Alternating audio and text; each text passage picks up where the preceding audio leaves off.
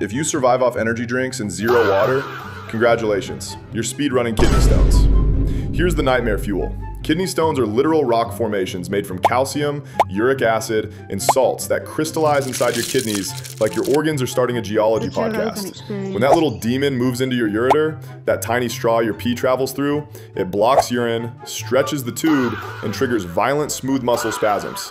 That's why the pain hits your back, wraps around your side, and dives straight into your soul. Now let's talk about why you get them. Big risk factors include not drinking water. Your kidneys need fluid or they start making rocks out of spite. High protein diets, too much salt, energy drinks every day like it's a personality trait, dehydration from workouts, alcohol, or living like a desert lizard, and a family history, meaning your DNA already chose violence. And if you start seeing blood in your urine, that's the stone scraping your plumbing on the way out like it owes it money. So yeah, kidney stones aren't random.